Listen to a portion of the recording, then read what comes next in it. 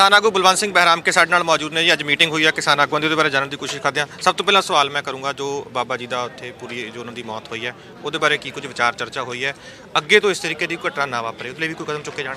ਦੇਖੋ, ਜੋ ਬਾਬਾ ਜੀ ਕੱਲ ਸੂ ਆਪਣੇ ਸੂਸੂਟ ਨਾਈਟ ਦੇ ਵਿੱਚ ਲਿਖ ਕੇ ਗਏ ਨੇ ਹੈਗੇ। ਉਹਨਾਂ ਨੇ ਲਿਖਿਆ ਵੀ ਪਾਪ ਕਰਨਾ ਤੇ ਪਾਪ ਸਹਿਣਾ ਬਹੁਤ ਜ਼ਿਆਦਾ ਜ਼ੁਲਮ ਹੈਗਾ। ਇਹ ਕਿਸਾਨਾਂ ਦੇ ਉੱਪਰ ਜਿਹੜਾ ਮੋਦੀ ਸਰਕਾਰ ਵੱਲੋਂ ਜ਼ੁਲਮ ਕੀਤਾ ਜਾ ਰਿਹਾ ਹੈ ਇਹ ਮੈਂ ਨਾ ਸਹਿਣ ਕਰਦਾ ਹੋਇਆ, ਕੋਈ ਕੁਛ ਦਾਨ ਕਰਦਾ, ਕੋਈ ਕੁਛ ਦਾਨ ਕਰਦਾ, ਮੈਂ ਆਪਣਾ ਸਰੀਰ ਦਾਨ ਕਰਕੇ ਇਸ ਦੁਨੀਆ ਤੋਂ ਚੱਲਿਆ ਹੈਗਾ। ਇਹ ਜੋ ਸਰਕਾਰਾਂ ਕਰਦੀਆਂ ਪਈਆਂ ਨੇ, ਇਹ ਕਿਸਾਨਾਂ ਦੇ ਹੱਕ ਵਿੱਚ ਨਹੀਂ। ਅਸੀਂ ਅੱਜ ਬਾਬਾ ਜੀ ਦੀ ਬਦੌਲਤ ਸਟੇਜ ਤੋਂ 2.5 ਘੰਟੇ ਲਗਾਤਾਰ ਕੀਰਤਨ, ਕਥਾ, ਵਿਚਾਰਾਂ ਉਹ ਸ਼ਰਧਾਂਜਲੀਆਂ ਭੇਟ ਕੀਤੀਆਂ ਨੇ। ਵੀ ਉਹ ਮਹਾਂਪੁਰਸ਼ ਸੀਗੇ, ਉਹ ਇੱਕ ਬੜੀ ਵੱਡੀ ਮਹਾਨ ਹਸਤੀ ਸੀਗੇ, ਹਰਿਆਣੇ ਕਰਨਾਲ ਤੋਂ, ਅਹ ਸਿੰਗੜਾ ਪਿੰਡ ਤੋਂ। ਤੇ ਉਹਨਾਂ ਨੇ ਇਹ ਵੇਖੋ ਦੇਖੋ, ਪਤਾ ਨਹੀਂ ਪ੍ਰਮਾਤਮਾ ਦੇ ਕੀ ਕਰੋਪੀ ਹੈਗੀ ਆ ਕਿ ਸਾਰਾ ਕੁਝ ਆਪਣੇ ਸਰੀਰ ਤੇ ਝੱਲ ਕੇ ਕਿਸਾਨਾਂ ਦਾ ਤੇ ਉਹ ਕਾਲ ਚਲਾਣਾ ਕਰ ਗਏ ਨੇ। ਸਾਡੀ ਬਹੁਤ ਵੱਡੀ ਇਸ ਗੱਲ ਦੀ ਦੁੱਖ ਹੈ, ਸਾਨੂੰ ਬਹੁਤ ਵੱਡਾ ਵੀ ਇਸ ਤਰ੍ਹਾਂ ਦਾ ਮਹਾਂਪੁਰਸ਼ਾਂ ਦਾ ਜਾਣਾ ਸਾਡੇ ਵਾਸਤੇ ਸਹੀ ਨਹੀਂ ਹੈਗਾ, ਕਿਉਂਕਿ ਮਹਾਂਪੁਰਸ਼ ਹੀ ਇੱਕ ਸਾਨੂੰ ਯਾਨੀ ਕਿ ਸਨੇਹਾ ਦਿੰਦੇ ਨੇ, ਸਿਧਾਂਤ ਦਿੰਦੇ ਨੇ ਤੇ ਜੇ ਉਹੀ ਦੁਨੀਆ ਤੋਂ ਚਲੇ ਗਏ ਤੇ ਸਾਡੇ ਵਾਸਤੇ ਪਿੱਛੇ ਕੁਝ ਰਹਿ ਨਹੀਂ ਜਾਂਦਾ ਹੈਗਾ। ਤੇ ਹੁਣ ਇਦਾਂ ਦੇ ਮਹਾਂਪੁਰਸ਼ ਦੇ ਜਾਣ ਦੇ ਨਾਲ ਕਿ ਮੋਦੀ ਸਰਕਾਰ ਨੂੰ ਜਿਹੜੇ ਕਿਸਾਨਾਂ ਦੇ ਪ੍ਰਤੀ ਕਾਨੂੰਨ ਬਣਾਏ ਹੋਏ ਨੇ ਉਹਨੂੰ ਰੱਦ ਕਰ ਦੇਣਾ ਚਾਹੀਦਾ ਇੰਨੀ ਜਿੱਦ ਨਹੀਂ ਕਰਨੀ ਚਾਹੀਦੀ। ਇੱਕ ਇਹ ਦੱਸੋ ਕਿ ਇਸ ਤਰੀਕੇ ਦੀ ਘਟਨਾ ਜਿਹੜੀ ਹੈ ਪਹਿਲੀ ਵਾਰ ਹੁਣ ਇਸ ਪੂਰੇ ਅੰਦੋਲਨ ਦੇ ਦੌਰਾਨ ਜਿਹੜੀ ਵਾਪਰੀ ਹੈ ਲੱਖਾਂ ਉਹਨਾਂ ਦੇ ਪੈਰੋਕਾਰ ਨੇ। ਕੀ ਲੱਗਦਾ ਕਿਸੇ ਤਰ੍ਹਾਂ ਦਾ ਕੋਈ ਨਿਰਾਸ਼ਤਾ ਦਾ ਭਾਵ ਤਾਂ ਲੋਕਾਂ 'ਚ ਨਹੀਂ ਪੈਦਾ ਹੋਏਗਾ ਇਸ ਨਾਲ? ਬਿਲਕੁਲ ਕੋਈ ਨਿਰਾਸ਼ਤਾ ਦਾ ਭਾਵ ਨਹੀਂ ਹੈਗਾ। ਸੂਸਾਈਡ ਨੋਟ ਖੁਦ ਲਿਖ ਕੇ ਗਏ ਹੈਗੇ ਨੇ। ਉਹਨਾਂ ਦੇ ਸਾਰੇ ਜਿਹੜੇ ਸੇਵਾਦਾਰ ਨੇ ਭਗਤ ਨੇ ਜਿਹੜੇ ਉਹਨਾਂ ਦੇ ਉਹਨਾਂ ਨੇ ਸਾਰਿਆਂ ਪੜਿਆ ਹੈਗਾ। ਵੀ ਬਿਲਕੁਲ ਉਹਨਾਂ ਦੇ ਮਨ ਵਿੱਚ ਕੋਈ ਇਹੋ ਜਿਹਾ ਖਿਆਲਾਤ ਨਹੀਂ। ਸਵੇਰੇ ਸੰਗਤ ਨੂੰ ਵੀ ਇਹ ਸਾਰੀ ਗੱਲਬਾਤ ਦੱਸੀ ਗਈ ਵੀ ਬਾਬਾ ਜੀ ਇਸ ਤਰ੍ਹਾਂ ਗਏ ਹੈਗੇ ਨੇ ਤੇ ਇੰਨਾ ਵੱਡਾ ਜੁਰਮ ਜਿਹੜਾ ਸਰਕਾਰਾਂ ਵੱਲੋਂ ਕੀਤਾ ਜਾ ਰਿਹਾ ਤੁਸੀਂ ਦੇਖੋ ਨਾ ਅੱਜ ਸਾਰੇ ਬਾਰਡਰਾਂ ਦੇ ਉੱਪਰ ਇੰਨੀ ਠੰਡ ਦੇ ਵਿੱਚ ਕਿਸਾਨ ਜਿਹੜੇ ਨੇ ਸੜਕਾਂ ਦੇ ਉੱਪਰ ਬੈਠੇ ਹੋਏ ਨੇ।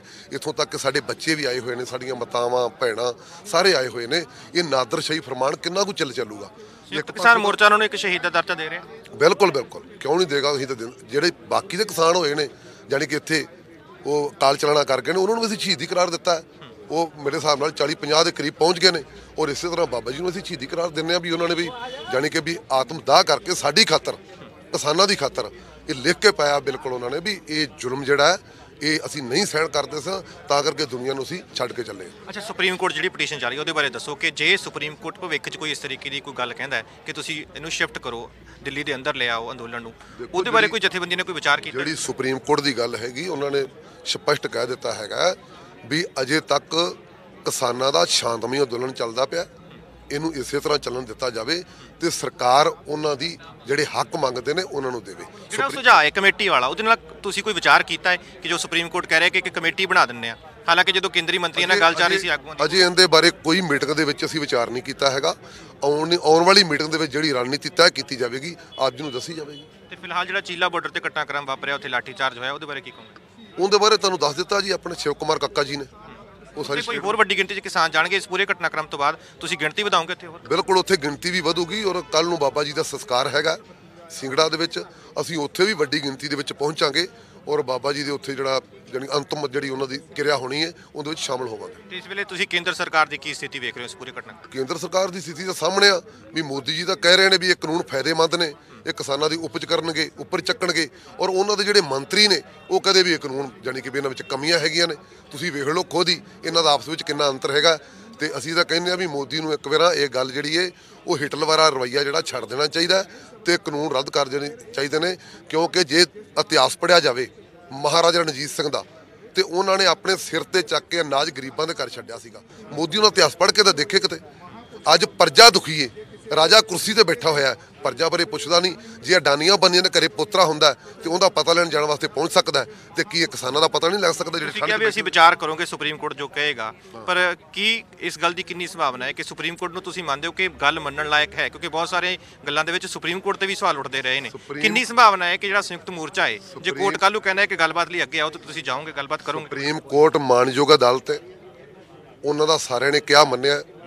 ਅਸੀਂ ਵੀ ਆਪਦੀ ਰਣਨੀਤੀ ਤੈਅ ਕਰਾਂਗੇ। ਉਹ ਆਉਣ ਵਾਲੇ ਸਮੇਂ 'ਚ ਅਸੀਂ ਕੀ ਕਰਨਾ ਕੀ ਕਮੈਂਟ ਦੇਣਾ ਕੀ ਉਹਦਾ ਜਵਾਬ ਦੇਣਾ ਉਹ ਆਉਣ ਵਾਲੇ ਸਮੇਂ 'ਚ ਦੱਸਿਆ ਜਾਵੇਗਾ। ਬਹੁਤ ਬਹੁਤ ਧੰਨਵਾਦ, ਸਾਡੇ ਨਾਲ ਗੱਲਬਾਤ ਕਰਨ ਲਈ। ਸੋ ਕਿਸਾਨ ਆਗੂਆਂ ਦਾ ਇਹ ਕਹਿਣਾ ਹੈ ਜੀ, ਸੁਪਰੀਮ ਕੋਰਟ ਦਾ ਉਹ ਸਤਿਕਾਰ ਕਰਦੇ ਨੇ, ਪਰ ਫਿਲਹਾਲ ਉਹ ਵਿਚਾਰ ਕਰਨਗੇ। ਆਪਣੇ ਜੋ ਕਾਨੂੰਨੀ ਸਲਾਹਕਾਰ ਜਿਹੜੇ ਹੋਰ ਸੀਨੀਅਰ ਵਕੀਲ ਨੇ ਉਹਨਾਂ ਨਾਲ ਗੱਲਬਾਤ ਕਰਨਗੇ ਤੇ ਉਸ ਤੋਂ ਬਾਅਦ ਹੀ ਫੈਸਲਾ ਕੀਤਾ ਜਾਏਗਾ ਕਿ ਇਸ ਮਸਲੇ 'ਚ ਅੱਗੇ ਕਿਵੇਂ ਵਧਿਆ ਜਾਵੇ। ਸਾਡੇ ਨਾਲ ਕਿਸਾਨ ਆਗੂ ਕੇਵੀ ਬੀਜੂ ਜੀ ਨੇ ਉਹਨਾਂ ਨਾਲ ਗੱਲ ਕਰਦੇ ਆ ਕਿ ਸੁਪਰੀਮ ਕੋਰਟ ਦਾ ਜੋ ਇਹ ਪੂਰਾ ਮਸਲਾ ਹੈ ਉਸ ਨੂੰ ਕਿਸਾਨ ਜਥੇਬੰਦੀਆਂ ਕਿਵੇਂ ਲੈਣਗੀਆਂ ਸਰ ਇਹ ਦੱਸੋ ਕਿ ਕੀ ਕਿਸਾਨਾਂ ਨੇ ਫੈਸਲਾ ਕੀਤਾ ਹੈ ਕਿ ਸੁਪਰੀਮ ਕੋਰਟ 'ਚ ਮਸਲਾ ਚੱਲ ਰਿਹਾ ਹੈ ਅੱਗੇ ਤੁਸ- ਤੁਹਾਡੀ ਕੀ ਤਿਆਰੀ ਹੈ यू सी अभी अ, सुप्रीम कोर्ट का कोई नोटिस हमारा साथ संगठन को नहीं मिला उस, कल सुप्रीम कोर्ट ने में बताया बी के यू का आठ संगठन का नाम उन्होंने बनाया। उन्होंने ओपन इनविटेशन इम्प्लीट करने के लिए ओपन इनविटेशन दिया। ये अभी तक हमारा सात संगठन है। उसमें आठ ये बी के यू बानू हमारा इसमें नहीं है। बाकी सात संगठन हमारा संयुक्त किसान मोर्चा में है इधर आंदोलन में है। ये संग, सात संगठन को अभी तक नोटिस नहीं मिला। हम, हमने निश्चय किया, हम चार सीनियर एडवोकेट को कंसल्ट करने के लिए हमने निश्चय किया।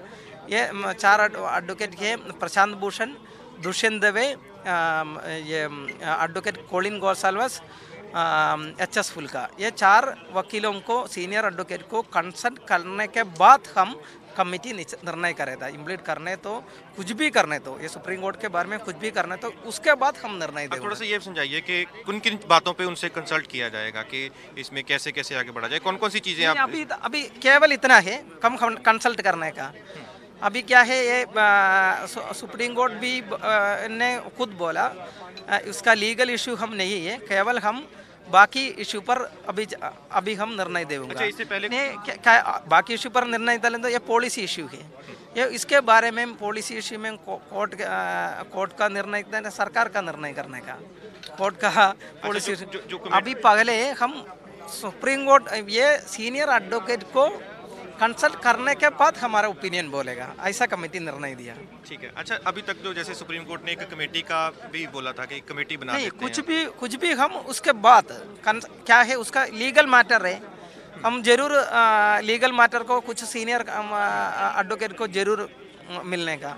इसके लिए चार एडवोकेट को मिलने के अच्छा लिए। सुप्रीम कोर्ट पर भी कई चीज़ों को लेकर सवाल उठते रहे हैं पिछले समय के दौरान। बहुत सारे ऐसे केसेस आए हैं।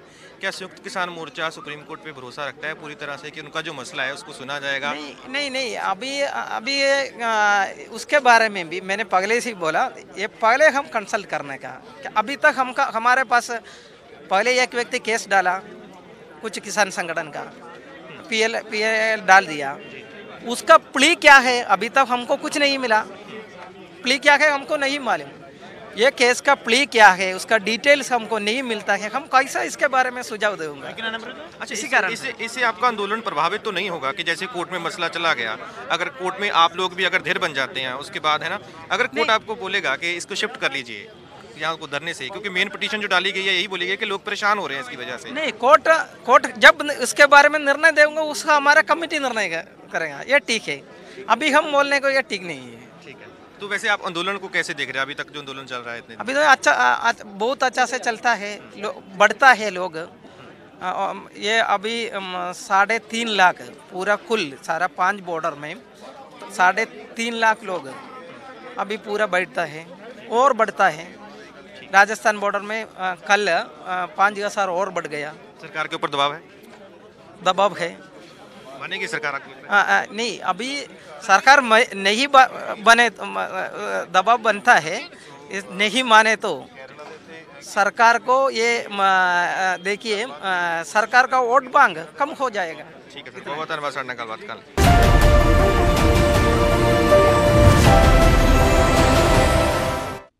ਕਿਸਾਨਾਂ ਦਾ ਅੰਦੋਲਨ ਲਗਾਤਾਰ ਜਾਰੀ ਹੈ ਜੀ। ਇਸ ਅੰਦੋਲਨ ਦੇ ਵਿੱਚ ਵੱਖ-ਵੱਖ ਸ਼ਖਸੀਅਤਾਂ ਜਿਹੜੀਆਂ ਨੇ ਆਪਣੀ ਹਿੱਸੇਦਾਰੀ ਪਾ ਰਹੀਆਂ ਨੇ, ਅੰਦੋਲਨ ਨੂੰ ਹਮਾਇਤ ਵੀ ਦੇ ਰਹੀਆਂ ਨੇ ਤੇ ਉਹਨਾਂ ਸ਼ਖਸੀਅਤਾਂ ਦੇ ਵਿੱਚ ਇੱਕ ਸ਼ਖਸੀਅਤ ਪ੍ਰੋਫੈਸਰ ਵਿਮਲ ਭਨੋਟ ਜੀ ਵੀ ਨੇ। ਕਾਫੀ ਲੰਮੇ ਸਮੇਂ ਤੋਂ ਉਹ ਪਬਲਿਕ ਲਾਈਫ ਦੇ ਵਿੱਚ ਨੇ, ਸਮਾਜਿਕ ਸੇਵਾ ਦੇ ਵਿੱਚ ਨੇ, ਵੱਖ-ਵੱਖ ਸਮਾਜਿਕ ਅੰਦੋਲਨਾਂ ਦੇ ਵਿੱਚ ਉਹਨਾਂ ਦੀ ਹਿੱਸੇਦਾਰੀ ਰਹੀ ਹੈ। ਕਰੀਬ ਤਿੰਨ ਦਹਾਕਿਆਂ ਤੱਕ ਉਹਨਾਂ ਦੇ ਵੱਲੋਂ ਇੰਜੀਨੀਅਰਿੰਗ ਦੇ ਪ੍ਰੋਫੈਸਰ ਦੇ ਤੌਰ ਤੇ ਕੰਮ ਵੀ ਕੀਤਾ ਗਿਆ। ਪਰ ਨੌਕਰੀ ਤੋਂ ਕਰੀਬ ਰਿਟਾਇਰ ਹੋਣ ਤੋਂ 5 ਸਾਲ ਪਹਿਲਾਂ ਹੀ ਉਹਨਾਂ ਨੇ ਆਪਣੀ ਨੌਕਰੀ ਛੱਡ ਦਿੱਤੀ ਸੀ। ਤਾਂ ਜੋ ਸਮਾਜਿਕ ਤੌਰ ਤੇ ਜੋ ਅੰਦੋਲਨ ਚੱਲਦੇ ਨੇ ਲੋਕ ਜੋ ਸਰਕਾਰਾਂ ਦੇ ਨਾਲ ਲੜਾਈਆਂ ਲੜ ਰਹੇ ਨੇ, ਉਹਨਾਂ ਘੋਲਾਂ ਨੂੰ ਸਮਝ ਸਕਣ ਤੇ ਉਹਨਾਂ ਦੇ ਵਿੱਚ ਆਪਣਾ ਹਿੱਸਾ ਪਾ ਸਕਣ। ਪ੍ਰੋਫੈਸਰ ਬਿਮਲ ਉਹਨਾਂ ਦੇ ਨਾਲ ਗੱਲਬਾਤ ਕਰਦੇ ਹਾਂ। ਮੌਜੂਦਾ ਜੋ ਅੰਦੋਲਨ ਚੱਲ ਰਿਹਾ ਹੈ, ਉਸ ਨੂੰ ਲੈ ਕੇ ਸਰ, ਸਭ ਤੋਂ ਪਹਿਲਾਂ ਬਹੁਤ ਬਹੁਤ ਸਵਾਗਤ ਹੈ ਜੀ ਤੁਹਾਡਾ ਜਸ ਪੰਜਾਬੀ। ਧੰਨਵਾਦ ਜੀ। ਹਾਂਜੀ ਵੀਰ ਜੀ ਇਹਦੇ ਬਾਰੇ ਜਿਹੜਾ ਅੰਦੋਲਨ ਚੱਲਦਾ ਪਿਆ ਹੈ ਕਿਸਾਨਾਂ ਦੇ ਬਾਰੇ ਜਿਹੜੀ ਇੱਕ ਜਾਗਰੂਕਤਾ ਹੈ ਨਾ ਉਹ ਸਮਝੋ ਵੀ ਪੀਸ ਸਾਈਨਾ ਜਿਹਦੇ ਆਰਟੀਕਲ ਪੜਨ ਦੇ ਸਾਨੂੰ ਚਸਕਾ ਲੱਗ ਗਿਆ। ਜੀ। ਤੇ ਸਮਝੋ ਵੀ ਅੱਜ ਤੋਂ 96 97 ਤੋਂ ਲੈ ਕੇ ਨਾ ਮਤਲਬ ਉਹਨਾਂ ਦੇ ਆਰਟੀਕਲ ਪੜ੍ਹਨੇ ਸ਼ੁਰੂ ਕਰਤੇ ਤੇ ਉਸ ਤੋਂ ਫਿਰ ਇੱਕ ਆਭਾਸ ਹੋ ਗਿਆ ਕਿ ਕਿਸਾਨੀ ਦੀ ਹਾਲਤ ਬੜੀ ਖਸਤਾ ਹੁੰਦੀ ਪਈ ਹੈ ਡੇ ਬਾਈ ਡੇ ਜਿੱਦਾਂ ਅਸੀਂ ਕਹਿੰਦੇ ਹਾਂ ਕਿ 1991 ਦੇ ਵਿੱਚ ਮਤਲਬ ਸਾਡੇ ਦੇਸ਼ ਦੇ ਵਿੱਚ 11 ਕਰੋੜ ਕਿਸਾਨ ਸਨ। ਸਰਕਾਰ ਉਹਨੂੰ ਕਿਸਾਨ ਮੰਨਦੀ ਹੈ ਨਾ ਜਿਹੜਾ ਕਿ 180 ਦਿਨ ਤੋਂ ਜ਼ਿਆਦਾ ਖੇਤ ਦੇ ਵਿੱਚ ਆਪਣਾ ਬਿਤਾਵੇ। ਲੇਕਿਨ 11 2011 1991 ਤੋਂ ਬਾਅਦ 2011 ਦੇ ਸੈਂਸਸ 'ਚ ਆਉਂਦੇ ਨੇ 9.5 ਕਰੋੜ ਕਿਸਾਨ।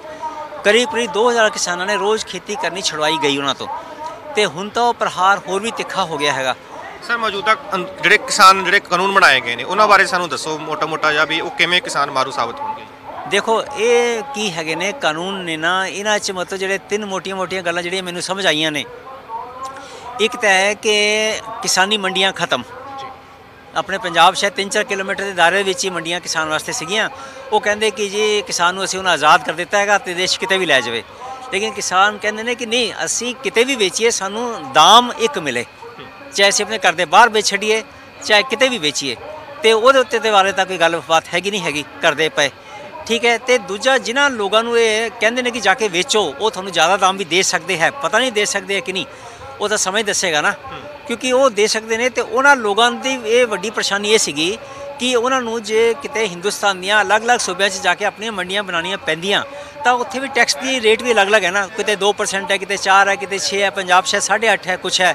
ਪੰਜਾਬ 'ਚ ਕਹਿੰਦੇ ਪਤਾ ਨਹੀਂ 164 ਰੁਪਿਆ ਪਰ ਕੁਇੰਟਲ ਜਿਹੜਾ ਹੈ ਨਾ, ਉਹ ਮੰਡੀ ਬੋਰਡ ਨੂੰ ਜਾਂਦਾ ਹੈ, ਜਿਸ ਤੋਂ ਕਿ ਪੰਜਾਬ ਦੀਆਂ ਸੜਕਾਂ ਤੇ ਉਹਨਾਂ ਵਾਸਤੇ ਕਾਫੀ ਸਹੂਲਤਾਂ ਵੀ ਪ੍ਰਦਾਨ ਹੁੰਦੀਆਂ ਨੇ। ਤੇ ਇਹਦੇ ਬਾਰੇ ਤਾਂ ਉਹ, ਉਹਨਾਂ ਉਹਨਾਂ ਦੇ ਵਿੱਚ ਕੋਈ ਵੀ ਗੱਲਬਾਤ ਹੈਗੀ ਨਹੀਂ ਹੈਗੀ ਕਿ ਉਹਨਾਂ ਦਾ ਕੀ ਹੋਏਗਾ।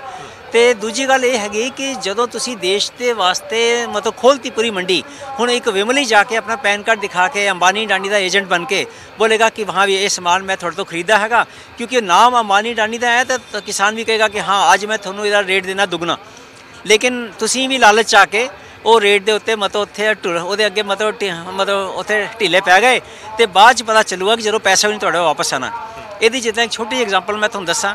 ਜਿੱਦਾਂ ਸ਼ਾਇਦ 2002 ਦੇ ਵਿੱਚ ਜਦੋਂ ਮਹਾਰਾਸ਼ਟਰ ਦੇ ਕਿਸਾਨਾਂ ਦੇ ਉੱਤੇ ਬੀਟੀ ਕਾਟਨ ਦਾ ਬੀਜ ਲਾਇਆ ਗਿਆ, ਕਿਸਾਨਾਂ ਨੂੰ ਬਹੁਤ ਲਾਲਚ ਦਿੱਤੇ ਗਏ ਕਿ ਤੁਸੀਂ ਲੱਖਪਤੀ ਬਣ ਜਾਓਗੇ ਤੇ ਇਹ ਹੋ ਜਾਏਗਾ ਥੋੜਾ ਜਿਹਾ ਖਰਚ ਕਰ ਲਓ, ਕੋਈ ਨਹੀਂ, ਕਰਜ਼ ਲੈ ਕੇ। ਲੇਕਿਨ ਜਿ- ਔਰ ਉਹਨਾਂ ਨੂੰ ਪ੍ਰੋਮਿਸ ਕੀਤਾ ਸ਼ਾਇਦ 2200 ਦੇ 2400 ਦੇ ਵਿੱਚ ਪਰ ਕੁਇੰਟਲ ਕਾਟਨ ਦਾ ਬੀਟੀ ਕਾਟਨ ਦਾ ਦਾਮ ਮਿਲੇਗਾ।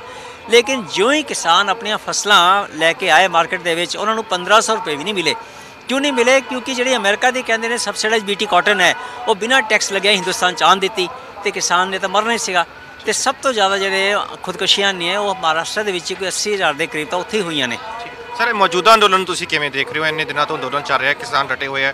ਸਰਕਾਰ ਸੁਣਵਾਈ ਨਹੀਂ ਕਰ ਰਹੀ। ਹੁਣ ਤੱਕ ਤੁਸੀਂ ਅੰਦੋਲਨ ਦੀ ਰੂਪਰੇਖਾ ਤੇ ਅੰਦੋਲਨ ਕਿਵੇਂ ਚੱਲ ਰਿਹਾ ਉਹਦੇ ਬਾਰੇ ਕੀ ਕਹੋਗੇ? ਇਸ ਕਿਸਾਨ ਅੰਦੋਲਨ ਨੂੰ ਤਾਂ ਨਾ ਮਤਲਬ ਇਹ ਦੇਖਿਆ ਜਾਂਦਾ ਹੈ ਕਿ ਇੱਕ ਬਹੁਤ ਹੀ ਇਤਿਹਾਸਕ ਮੋੜ ਦੇ ਉੱਤੇ ਆ ਕੇ ਅਸੀਂ ਖੜੇ ਹੋ ਗਏ ਹੈਗੇ। ਕਿ ਜਿਹੜਾ ਕਾਰਪੋਰੇਟ ਦਾ ਸ਼ਿਕੰਜਾ ਸਾਡੇ ਦੇਸ਼ ਦੇ ਵਿੱਚ 1991 ਚ ਪਾਣਾ ਸ਼ੁਰੂ ਕੀਤਾ, ਉਹਦਾ ਸ਼ਾਇਦ ਇੱਕ ਚਰਮ ਰੂਪ ਨਹੀਂ ਜਿਸਦਾ ਦਿਸਦਾ ਹੈਗਾ। ਇਹ ਉਹਦਾ ਚਰਮ ਰੂਪ ਸਾਨੂੰ ਦਿਸਦਾ ਪਿਆ ਹੈਗਾ। ਔਰ ਇਸ ਚਰਮ ਰੂਪ ਦਾ ਅਹਿਸਾਸ ਸਾਡੇ ਕਿਸਾਨ ਵੀਰਾਂ ਨੂੰ ਹੋ ਗਿਆ, ਛੇਤੀ ਹੋ ਗਿਆ, ਕਿਉਂਕਿ ਜਿਹੜੇ ਬਾਕੀ ਸਾਰੇ ਕਾਨੂੰਨ ਪਾਸ ਕੀਤੇ ਗਏ, ਜਿੱਦਾਂ ਕਿ ਨਿਊ ਨਿਊ ਐਜੂਕੇਸ਼ਨ ਪਾਲਿਸੀ 2020 ਜਾਂ ਆਪਣੇ ਸੀਏਏ ਸਿਟੀਜ਼ਨਸ਼ਿਪ ਅਮੈਂਡਮੈਂਟ ਐਕਟ ਉਸ ਤੇ ਤਾਂ ਵਿਰੋਧ ਹੋਇਆ ਦੇਸ਼ ਭਰ ਦੇ ਵਿੱਚ। ਲੇਕਿਨ ਉਹਦੇ ਬਾਰੇ ਵੀ ਤਾਂ ਮੇਰਾ ਤਾਂ ਵਿਰੋਧ ਹੀ ਸੀਗਾ ਕਿ ਵਿਮਲ ਕਿਉਂ ਦੱਸੇ ਕਿ ਮੇਰੀ ਮਾਂ ਕਿੱਥੇ ਪੈਦਾ ਹੋਈ? ਮੈਂ ਤਾਂ ਜਿਸ ਮਿੱਟੀ 'ਚ ਪੈਦਾ ਹੋਇਆ ਉੱਥੇ ਤਾਂ ਮੇਰਾ ਮਤਲਬ ਨਾਗਰਿਕਤਾ ਹੈਗੀ ਹੈਗੀ। ਔਰ ਜਿਨ੍ਹਾਂ ਨੂੰ ਮੈਂ ਵੋਟ ਪਾਈ ਤੇ ਉਹੀ ਮੇਰੇ ਤੋਂ ਪੁੱਛਣ ਕਿ ਤੂੰ ਪਹਿਲਾਂ ਹੁਣ ਆਪਣੀ ਨਾਗਰਿਕਤਾ ਸਾਬਿਤ ਕਰਨ। ਇਹ ਤਾਂ ਉਲਟਾ ਸਵਾਲ ਹੋ ਗਿਆ ਨਾ। ਤੇ ਉਹਨਾਂ ਦਾ ਉਹਦਾ ਵਿਰੋਧ ਤੇ ਉਸ ਤੋਂ ਪਹਿਲਾਂ ਕਸ਼ਮੀਰ ਨੂੰ ਤੋੜਿਆ ਉਹਨਾਂ ਨੇ ਤੇ ਉੱਥੇ ਦੇ ਲੋਕਾਂ ਨੇ ਜੋ ਵੀ ਤੁਸੀਂ ਦੇਖੋ, ਆਪਣੀ ਰਾਹਤ ਮੰਗਣੀ ਚਾਹੀ ਸਰਕਾਰ ਤੋਂ, ਕੋਈ ਸਾਲ ਤੱਕ ਕੋਈ ਰਾਹਤ ਵੀ ਨਹੀਂ ਦੇ ਛੱਡੀ ਉਹਨਾਂ ਨੂੰ। ਇਹ ਤਾਂ ਅੱਛੀ ਗੱਲ ਹੈ ਕਿ ਸਾਡੇ ਕਿਸਾਨ ਵੀਰਾਂ ਨੇ ਇਸ ਸੰਕਟ ਨੂੰ ਮਤਲਬ ਸਮੇਂ ਸਿਰ ਸਮਝ ਲਿਆ ਤੇ ਕਰੋਨਾ ਦੇ ਦੌਰਾਨ ਹੀ ਉਹਨਾਂ ਆਪਣੇ ਛੋਟੇ ਛੋਟੇ ਮੁਜ਼ਾਹਰੇ ਪਿੰਡਾਂ 'ਚ ਕਰਨੇ ਸ਼ੁਰੂ ਕਰ ਛੱਡੇ ਤੇ ਇੱਕ ਜਾਗਰੂਕਤਾ ਲੋਕਾਂ 'ਚ ਫੈਲਦੀ ਚਲੀ ਗਈ ਤੇ ਅੱਜ ਦਾ ਇਹ ਰੂਪ ਜਿਹੜਾ ਹੈ, ਉਸੇ ਦਾ ਇੱਕ ਨਤੀਜਾ ਹੈਗਾ ਹੈ। ਸਰ ਇਹ ਦੱਸੋ ਕਿ ਸੁਪਰੀਮ ਕੋਰਟ ਨੂੰ ਕੱਲ ਇੱਕ ਪਟੀਸ਼ਨ ਪਾਈ ਹੋਈ ਸੀ ਕਿ ਲੋਕ ਪਰੇਸ਼ਾਨ ਹੋ ਰਹੇ ਆ ਅੰਦੋਲਨਕਾਰੀਆਂ ਨੇ ਇੱਥੋਂ ਹਟਾ ਕੇ ਹੋਰ ਸ਼ਿਫਟ ਕੀਤਾ ਜਾਵੇ। ਉਹਦੇ ਵਿੱਚ ਸੁਪਰੀਮ ਕੋਰਟ ਨੇ ਗੱਲ ਕਹੀ ਹੈ ਕਿ ਅਸੀਂ ਇੱਕ ਕਮੇਟੀ ਬਣਾ ਦਿੰਦੇ ਆ ਜਿਹਦੇ ਵਿੱਚ ਕਿਸਾਨਾਂ ਦੇ ਕੁਝ ਲੀਡਰ ਹੋਣਗੇ ਸਰਕਾਰ ਦੇ ਕੁਝ ਨੁਮਾਇੰਦੇ ਹੋਣਗੇ ਤੇ ਉਹ ਬੈਠ ਕੇ ਇਸ ਗੱਲ ਦਾ ਕੋਈ ਮਸਲੇ ਦਾ ਹੱਲ ਕੱਢਣ। ਤੁਹਾਨੂੰ ਲੱਗਦਾ ਹੈ ਕਿ ਸੁਪਰੀਮ ਕੋਰਟ ਦਾ ਇਹ ਸੁਝਾਅ ਜਾਇਜ਼ ਹੈ ਕਿਸਾਨਾਂ ਨੂੰ ਮੰਨਣਾ ਚਾਹੀਦਾ ਹੈ ਲੱਗਦਾ ਹੈ ਕਿ ਇਸ ਤਰੀਕੇ ਨਾਲ ਹੱਲ ਨਹੀਂ ਨਿਕਲਣ ਵਾਲਾ? ਜੀ ਸੁਪਰੀਮ ਕੋਰਟ ਦਾ ਇਸ ਤਰ੍ਹਾਂ ਲੱਗਦਾ ਕਿ ਜੇ ਅਸੀਂ ਆਪਣੇ ਕਸ਼ਮੀਰ ਦੀ ਐਗਜ਼ਾਮਪਲ ਲਈਏ ਤੇ ਉਹ ਵਿਸ਼ਵਾਸ ਸਾਡਾ ਸੁਪਰੀਮ ਕੋਰਟ ਤੋਂ ਕਰੀਬ ਕਰੀਬ ਉੱਠ ਹੀ ਗਿਆ ਹੈਗਾ। ਕਿਉਂਕਿ ਕਸ਼ਮੀਰ ਦੇ ਵਿੱਚ ਜਦੋਂ ਸਡਨਲੀ ਉਸ ਸੂਬੇ ਨੂੰ ਤੋੜਿਆ ਗਿਆ ਤੇ ਉੱਥੇ ਦੇ ਕਿੰਨੇ 4000 ਨੇਤਾਵਾਂ ਨੂੰ ਇੱਕਦਮ ਜੇਲ੍ਹ ਬੰਦ ਕਰ ਛੱਡਿਆ ਤੇ ਜਿਹੜੇ ਵੀ ਲੋਕਾਂ ਨੇ ਉਹਨਾਂ ਦੇ ਬਾਰੇ ਹੈਬਿਸ ਕਾਰਪਸ ਪਟੀਸ਼ਨ ਪਾਈਆਂ, ਮੰਨ ਲਓ ਅੱਜ ਮੈਨੂੰ ਵਿਮਲ ਨੂੰ ਇੱਥੋਂ ਚੁੱਕ ਕੇ ਲੈ ਜਾਂਦੇ ਨੇ, ਤੇ ਇੱਕ ਹੈਬਿਸ ਕਾਰਪਸ ਪਟੀਸ਼ਨ ਹੈ ਜਿਹਦਾ ਕਿ ਸੁਣਵਾਈ ਤੁਰੰਤ ਹੋਣੀ ਚਾਹੀਦੀ ਹੈਗੀ। ਉਹ ਸਾਰੀਆਂ ਪਟੀਸ਼ਨਾਂ ਉੱਥੇ ਪੈਂਡਿੰਗ ਪਈਆਂ ਨੇ। ਤੇ ਇਹਦੇ ਬਾਰੇ ਜਦੋਂ ਇੰਨਾ ਅਵਿਸ਼ਵਾਸ ਸਾਡੇ ਸੁਪਰੀਮ ਕੋਰਟ ਦੇ ਉੱਤੇ ਹੋ ਗਿਆ, ਤਾਂ ਇਹ ਸੁਪਰੀਮ ਕੋਰਟ ਦਾ ਫੈਸਲਾ ਸਾਨੂੰ ਕੀ ਰਾਹਤ ਦੇਗਾ ਮੈਨੂੰ ਤਾਂ ਇਸ ਤੇ ਡਾਊਟ ਹੀ ਹੈਗਾ। ਠੀਕ ਹੈ, ਇੱਕ ਸਰ ਯੂਥ ਬਾਰੇ ਦੱਸੋ ਕਿ ਬਹੁਤ ਸਾਰੇ ਅੰਦੋਲਨ ਅਸੀਂ ਪੰਜਾਬ 'ਚ ਵੀ ਦੇਖਿਆ ਕਿਸਾਨ ਲੜਦੇ ਹੁੰਦੇ ਆ ਜ਼ਿਆਦਾਤਰ ਗਿਣਤੀ ਬਜ਼ੁਰਗਾਂ ਦੀ ਹੁੰਦੀ ਆ ਪਰ ਇਸ ਅੰਦੋਲਨ ਦੀ ਇੱਕ ਵੱਡੀ ਗੱਲ ਇਹ ਹੈ ਕਿ ਯੂਥ ਬੜੀ ਗਿਣਤੀ ਜੁੜਿਆ ਨੌਜਵਾਨ ਬਹੁਤ ਨੇ। ਉਹਦਾ ਇਸ ਅੰਦੋਲਨ ਤੇ ਕੀ ਅਸਰ ਵੇਖਦੇ ਹੋ? ਇਸ ਅੰਦੋਲਨ ਦੇ ਵਿੱਚ ਮਤਲਬ ਨਾਰਮਲੀ ਜਦੋਂ ਮੈਂ ਪੰਜਾਬ ਦੇ ਵਿੱਚ ਨਾ ਜਦੋਂ ਆਪਣੀ ਜੌਬ ਛੱਡਣ ਤੋਂ ਬਾਅਦ ਮੈਂ 2013 ਦੇ ਵਿੱਚ ਨਾ ਅੰਮ੍ਰਿਤਸਰ 15 ਦਿਨ ਬਿਤਾਏ। ਸਾਡੇ ਦੋਸਤ ਨੇ ਡਾਕਟਰ ਪਹਿਲਾਲ ਗਰਗ ਜੀ ਉਹਨਾਂ ਦੇ ਥਰੂ ਮੈਂ ਗਿਆ। ਤੇ ਮੈਂ ਕੋਈ 15 ਪਿੰਡਾਂ 'ਚ ਜਿਵੇਂ ਗਿਆ 15 ਸਕੂਲਾਂ 'ਚ ਗੱਲ ਕੀਤੀ ਹੋਏਗੀ। ਫਿਰ ਉਸ ਵਾਰ ਬਠਿੰਡਾ ਗਏ ਉੱਥੇ ਜਾ ਕੇ 15 ਦਿਨ ਰਹੇ ਇਸ ਤਰ੍ਹਾਂ 15 ਜਗ੍ਹਾ ਤੇ ਇਸ ਤਰ੍ਹਾਂ ਹੀ ਨਾਭੇ ਦੇ ਆਸ-ਪਾਸ ਰਹੇ। ਲੇਕਿਨ ਜਦੋਂ ਮੁੜ ਕੇ ਜਦੋਂ ਜਾਂਦੇ ਸੀਗੇ ਨਾ, ਹਾਂ, ਇੱਕ ਗੱਲ ਹੈ, ਜਿੱਥੇ ਵੀ ਗਏ, ਉੱਥੇ ਜਾ ਕੇ ਨੌਜਵਾਨ ਨਾਲ ਜਦੋਂ ਰਾਤੀ ਬੈਠਦੇ ਸੀਗੇ ਨਾ, ਉਹ ਇਹੀ ਗੱਲ ਕਹਿੰਦੇ ਸੀ, ਬਾਈ ਜੀ, ਬਸ ਸਾਨੂੰ ਨਾ ਬਾਹਰ ਜਾਣ ਦਾ ਕੋਈ ਰਸਤਾ ਦੱਸੋ। ਹੋਰ ਕੋਈ ਉਹ ਗੱਲ ਕਰਦੇ ਨਹੀਂ ਸੀਗੇ। ਲੇਕਿਨ ਹੁਣ ਇੱਥੇ ਦੇ ਮਾਹੌਲ 'ਚ ਇਹ ਦਿਖਿਆ ਹੈ ਕਿ ਨੌਜਵਾਨ ਜਰਾ ਇੱਕ ਪਾਸੇ ਹੋ ਕੇ ਆਪਣਾ ਦਿਮਾਗ ਫ੍ਰੀ ਕਰਕੇ ਇੱਥੇ ਬੈਠਾ ਹੈ। ਤੇ ਜੇ ਉਹਦੇ ਨਾਲ ਕੋਈ ਇਹਨਾਂ ਚਰਚਾਵਾਂ ਦੇ ਉੱਤੇ ਉਹ ਆਪਣਾ ਯੋਗਦਾਨ ਵੀ ਪਾਣਾ ਚਾਹੁੰਦਾ ਹੈ ਤੇ ਉਹ ਆਪਣੇ ਭਵਿੱਖ ਦੇ ਬਾਰੇ ਵੀ ਸੋਚ ਰਿਹਾ ਹੈਗਾ ਬਹੁਤ ਹੀ ਅੱਛਾ ਇਹਦਾ ਇੱਕ ਮਤਲਬ ਯੋਗਦਾਨ ਹੈਗਾ। ਸਾਡੇ ਨੌਜਵਾਨ ਆਪਣੀ ਜ਼ਮੀਨ ਨਾਲ ਜੁੜੇ ਹੋਏ ਆ ਇਹ ਵੀ ਸਾਬਤ ਹੁੰਦਾ ਹੈ। ਇਸ ਤੋਂ ਇਹ ਵੀ ਸਾਬਿਤ ਹੋਇਆ ਕਿ ਨੌਜਵਾਨ ਜੁੜੇ ਨਹੀਂ ਹੋਏ ਇਵਨ ਜਿਹੜੇ ਬਾਹਰ ਵੀ ਚਲੇ ਗਏ ਹੈ ਕੱਲ ਮੈਂ ਜਦੋਂ ਉਧਰ ਟਿਕਰੀ ਬਾਰਡਰ ਤੇ ਗਿਆ ਤੇ ਉੱਥੇ ਵਾਪਸ ਆਇਆ ਤੇ ਇੱਕ ਨੌਜਵਾਨ ਆਪਣਾ ਇੱਕ ਪੋਸਟਰ ਜਿਹਾ ਲਈ ਖੜੇ ਸੀਗਾ। ਮੈਂ ਕਿਹਾ ਕਿਸ ਤਰ੍ਹਾਂ ਉਹ ਨੌਜਵਾਨ? ਕਹਿੰਦਾ ਜੀ ਮੈਂ ਆਸਟ੍ਰੇਲੀਆ ਤੋਂ ਆਇਆ ਹੈਗਾ। ਤੇ ਕਹਿੰਦਾ ਸਾਨੂੰ ਜਾਣ ਦੀ ਕੀ ਲੋੜ ਹੈਗਾ ਨਾ ਉੱਥੇ ਆਸਟ੍ਰੇਲੀਆ? ਜੇ ਸਾਡਾ ਇਸ ਧਰਤੀ ਜਿਹੜੀ ਤੁਸੀਂ ਕਲਕੱਤਾ ਤੋਂ ਲੈ ਕੇ ਕਰਾਚੀ ਤੱਕ ਦੇਖੋ ਦੁਨੀਆ 'ਚ ਐਸੀ ਉਪਜਾਊ ਧਰਤੀ ਕਿਤੇ ਵੀ ਨਹੀਂ ਹੋਵੇਗੀ। ਤੇ ਇਸ ਨੂੰ ਅਸੀਂ ਸੰਭਾਲੀਏ ਨਾ ਮਿਲ ਕੇ। ਤੇ ਉਹ ਇਹੀ ਜਜ਼ਬਾ ਹੈ ਕਹਿੰਦੇ ਇਸੇ ਕਾਰਨ ਅਸੀਂ ਇਹ ਮਤਲਬ ਵਿਰੋਧ ਕਰਦੇ ਪਏ ਹੈਗੇ ਕਿ ਇਸ ਧਰਤੀ ਨੂੰ ਬਚਾਇਆ ਜਾਏ। ਇੱਕ ਸਰ ਮੈਂ ਡਿਜੀਟਲੀ ਗੱਲ ਕਰ ਡਿਜੀਟਲ ਕੱਲ ਅੰਦੋਲਨ ਨੇ ਸ਼ੁਰੂਆਤ ਕੀਤੀ ਹੈ ਇੱਕ। ਉਹਨਾਂ ਨੇ ਫੇਸਬੁੱਕ ਟਵਿੱਟਰ YouTube ਤੇ ਆਪਣੇ ਅਕਾਊਂਟ ਬਣਾਏ ਨੇ। ਉਹ ਕਹਿੰਦੇ ਨੇ ਝੂਠੀਆਂ ਖਬਰਾਂ ਬਹੁਤ ਫੈਲਾਈਆਂ ਜਾ ਰਹੀਆਂ ਅੰਦੋਲਨ ਨੂੰ ਲੈ ਕੇ। ਇਸ ਲਈ ਨੌਜਵਾਨਾਂ ਨੂੰ ਜੋੜੀਏ। ਤੁਸੀਂ ਉਸ ਕੋਸ਼ਿਸ਼ ਨੂੰ ਕਿਵੇਂ ਦੇਖਦੇ ਹੋ? ਤੁਹਾਨੂੰ ਲੱਗਦਾ ਹੈ ਕਿ ਬੀਜੇਪੀ ਜਿਹਦੇ ਕਿ ਵੱਡੇ ਵੱਡੇ ਆਈਟੀ ਸੈੱਲ ਨੇ ਜੋ ਜਿਨ੍ਹਾਂ ਨੂੰ ਲੈ ਕੇ ਉਹਨਾਂ ਸਵਾਲ ਚੁੱਕੇ ਨੇ ਉਹਨਾਂ ਦਾ ਮੁਕਾਬਲਾ ਉਹ ਕਰ ਸਕਣਗੇ ਜਿੱਥੋਂ ਇਸ ਤਰੀਕੇ ਦੀਆਂ ਖਬਰਾਂ ਆਉਂਦੀਆਂ ਨੇ?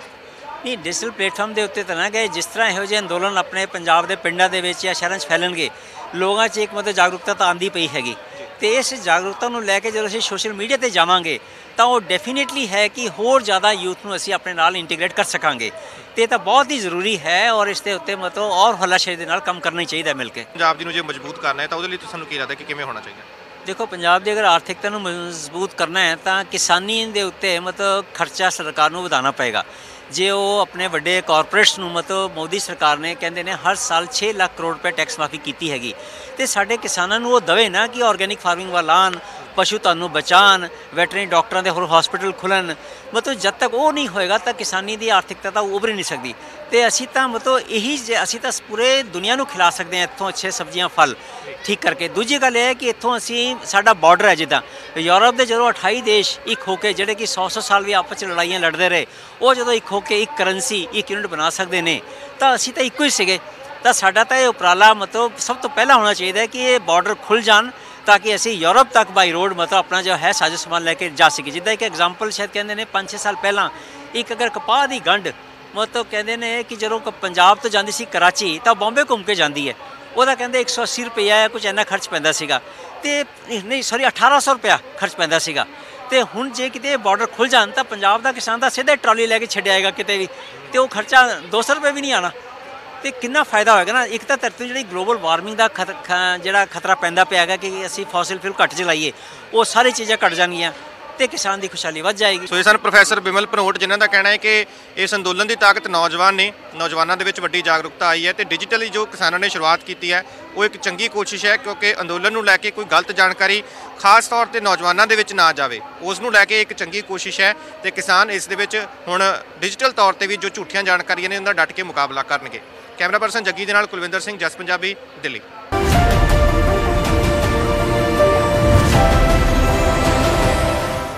ਰਾਜਵਾਲ ਸਾਹਿਬ ਸਭ ਤੋਂ ਪਹਿਲਾਂ ਜੋ ਬਾਬਾ ਜੀ ਦੀ ਪੂਰੀ ਘਟਨਾ ਵਾਪਰੀ ਹੈ ਉਹਦੇ ਬਾਰੇ ਕੀ ਕਹੋਗੇ? ਕਿਸ ਤਰ੍ਹਾਂ ਦਾ ਕੋਈ ਨਿਰਾਸ਼ਤਾ ਦਾ ਭਾਵ ਤਾਂ ਲੋਕਾਂ 'ਚ ਨਹੀਂ ਪਏਗਾ ਇਸ ਨਾਲ? ਦੇਖੋ ਜੀ ਇਹ ਤਾਂ ਕੁਦਰਤੀ ਹੈ ਏਡੀ ਵੱਡੀ ਧਾਰਮਿਕ ਹਸਤੀ ਏਡੀ ਵੱਡੀ ਕੁਰਬਾਨੀ ਦੇ ਜੇ ਅਹ, ਝਟਕਾ ਲੱਗਣਾ ਕੁਦਰਤੀ ਹੈ। ਸਾਰੇ ਅੰਦੋਲਨ ਨੂੰ ਬਹੁਤ ਵੱਡਾ ਝਟਕਾ ਲੱਗਿਆ ਬਹੁਤ ਲੰਬੇ ਸਮੇਂ ਤੋਂ ਇਹ ਸਾਡੇ ਨਾਲ ਕੰਮ ਕਰਦੇ ਸੀ। ਤੇ ਉਹਨਾਂ ਤੋਂ ਬਹੁਤ ਕੁਝ ਸਮਝਣ ਨੂੰ ਵੀ ਮਿਲਦਾ ਸੀ। ਇਹ ਸੀ ਵੀ ਜਦੋਂ ਇਹੀਆਂ ਜਿਹੀਆਂ ਧਾਰਮਿਕ ਸ਼ਖਸੀਅਤਾਂ ਅੰਦੋਲਨ ਵਿੱਚ ਸਾਡੇ ਨਾਲ ਹਮਦਰਦੀ ਰੱਖਦੀਆਂ ਤਾਂ ਅਕਾਲ ਪੁਰਖ ਦੀ ਹਮਦਰਦੀ ਸਾਡੇ ਨਾਲ ਹੈ।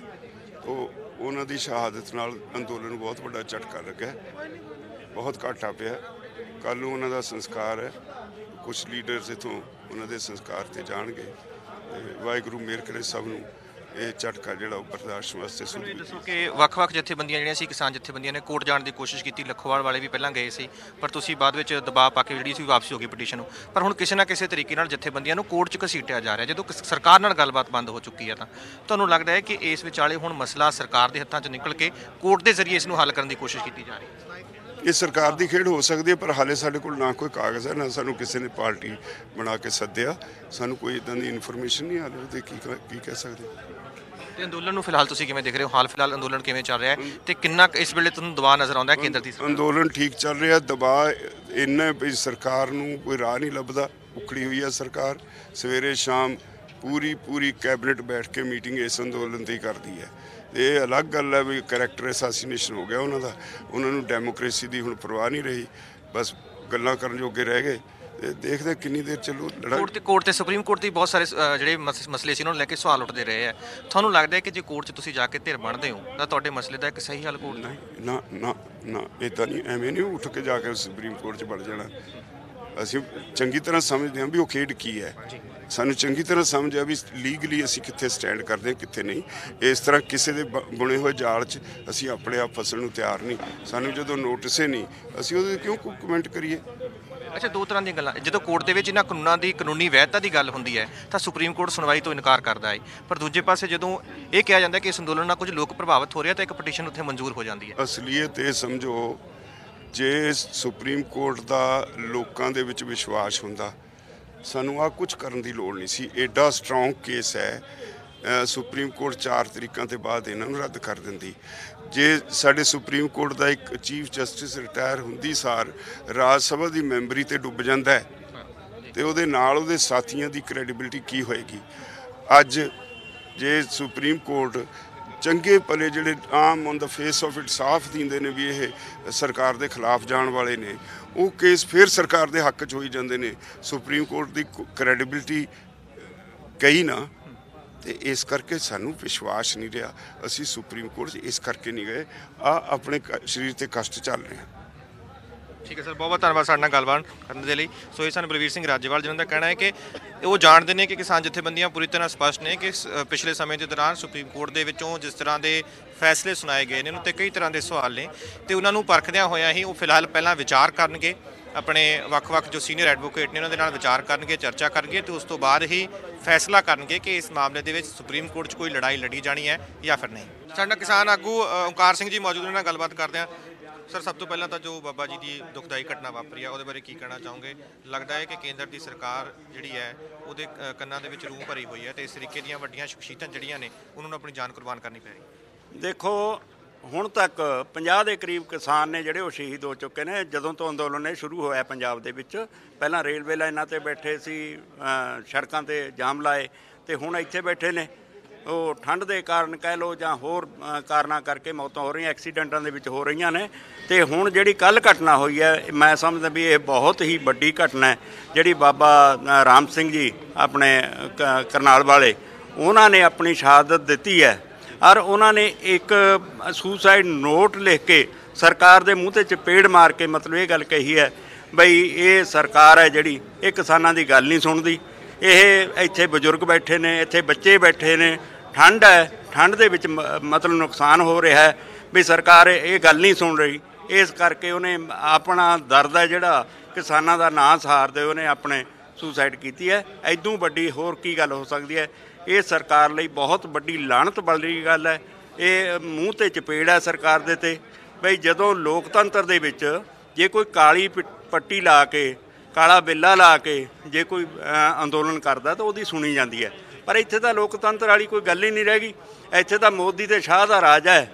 ਉਹ ਜਿਸ ਤਰ੍ਹਾਂ ਦਾ ਚਲਾਉਣਾ ਚਾਹੁੰਦੇ ਨੇ, ਉਸ ਤਰ੍ਹਾਂ ਚੱਲ ਰਿਹਾ। ਕਿਸੇ ਮੰਤਰੀ ਦਾ ਨਹੀਂ ਕੋਈ ਪੁੱਛ ਪ੍ਰਤੀਤ ਰਹੀ। ਨਰਿੰਦਰ ਸਿੰਘ ਤੋਮਰ ਜਦੋਂ ਗੱਲ ਕਰਦਾ ਕਿਸਾਨ ਜਥੇਬੰਦੀਆਂ ਦੇ ਨਾਲ ਉਹ ਤਾਂ 10 ਵਾਰੀ ਜਾ ਕੇ ਅੱਗੇ ਅਮਿਤ ਸ਼ਾਹ ਨੂੰ ਫੋਨ ਕਰਕੇ ਪੁੱਛਦਾ ਵੀ ਹੁਣ ਮੈਂ ਇਦੋਂ ਅੱਗੇ ਕੀ ਗੱਲ ਕਰਾਂ? ਹਾਲਾਤ ਤਾਂ ਇਹ ਨੇ ਇਹਨਾਂ ਦੀ ਪੁੱਛ ਪ੍ਰਤੀਤ ਕੋਈ ਨਹੀਂ। ਅਮਿਤ ਸ਼ਾਹ ਤੇ ਮੋਦੀ ਉਹੀ ਦੇਸ਼ ਨੂੰ ਚਲਾ ਰਹੇ ਨੇ ਉਹੀ ਗਲਤ ਪਾਸੇ ਨੂੰ ਜਿਹੜਾ ਲਿਜਾ ਰਹੇ ਨੇ ਬਹੁਤ ਜਿਹੜੀ ਮੌਤ ਹੋਈ ਤਾਂ ਤੁਸੀਂ ਅੰਦੋਲਨ ਤੇ ਕੀ ਅਸਰ ਦੇਖਦੇ ਹੋ? ਦੇਖੋ ਅੰਦੋਲਨ ਤੇ ਤਾਂ ਅਸਰ ਇਹੀ ਹੈ ਬਈ ਜਿਸ ਤਰ੍ਹਾਂ ਹੋਰ ਸ਼ਹਾਦਤਾਂ ਹੋਈਆਂ ਨੇ, ਇਹ ਵੀ ਇੱਕ ਬਹੁਤ ਵੱਡੀ ਸ਼ਹਾਦਤ ਹੈ। ਇਹ ਸਰਕਾਰ ਦੇ ਮੂੰਹ ਤੇ ਚਪੇੜ ਵਾਲੀ ਉਹ ਗੱਲ ਹੈ, ਇਹੀ ਕਹਿ ਸਕਦੇ ਹਾਂ, ਅੰਦੋਲਨ ਤਾਂ ਚੱਲਦਾ ਹੈ। ਅੰਦੋਲਨ ਦੇ ਵਿੱਚ ਦੇਖੋ ਬੜੋਤਰੀ ਹੋ ਰਹੀ ਹੈ, ਕਿਸਾਨ ਆ ਰਹੇ ਨੇ, ਆਵਾਜਾਈ ਵੱਧ ਰਹੀ ਹੈ। ਪੰਜਾਬ ਦੇ ਵਿੱਚ ਤਾਂ ਲਹਿਰ ਉੱਠ ਖੜੀ, ਹਰ ਪਿੰਡ ਦੇ ਵਿੱਚੋਂ ਬੱਚਾ ਬੱਚਾ ਇਹ ਗੱਲ ਸੋਚ ਰਿਹਾ ਵੀ ਅਸੀਂ ਜਾਈਏ ਉੱਥੇ। ਕੋਈ ਪੈਦਲ ਆਉਣ ਨੂੰ ਵੀ ਤਿਆਰ ਨੇ, ਕੋਈ ਟਰਾਲੀਆਂ ਤੇ ਲੈ ਕੇ ਆਉਂਦੇ ਨੇ, ਕੋਈ ਰੋਜ਼ ਗਰ- ਗੱਡੀਆਂ 'ਚ ਆਉਂਦੇ ਨੇ, ਰੋਜ਼ਾਨਾ ਰਾਸ਼ਨ ਪਾਣੀ ਲੈ ਕੇ ਆਉਂਦੇ ਨੇ। ਕਿਸੇ ਗੱਲ ਦੀ ਕਮੀ ਕੋਈ ਨਹੀਂ। ਸੋ ਇਹ ਤਾਂ ਇੱਕ ਨਿਰਾਸ਼ਤਾ ਦਾ ਭਾਵ ਤਾਂ ਨਹੀਂ ਲੋਕਾਂ 'ਚ ਪੈਦਾ ਹੋਏਗਾ ਕੋਈ ਨਿਰਾਸ਼ਤਾ ਨਹੀਂ ਇਹ ਤਾਂ ਲੋਕ ਲਹਿਰ ਬਣ ਗਈ ਹੈ। ਇਹਨੂੰ ਠੱਲਣ ਦੇ ਲਈ ਮੈਂ ਸਮਝਦਾ ਵੀ ਸਰਕਾਰ ਕੁਝ ਨਹੀਂ ਕਰ ਸਕਦੀ ਇਹਨੂੰ ਠੱਲ ਨਹੀਂ ਸਕਦੀ।